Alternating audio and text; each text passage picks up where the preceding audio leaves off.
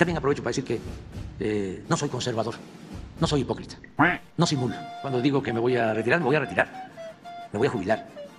Y no estoy acostumbrado a este, decir una cosa y hacer otra, o a estar eh, queriendo eh, manipular eh, a nadie.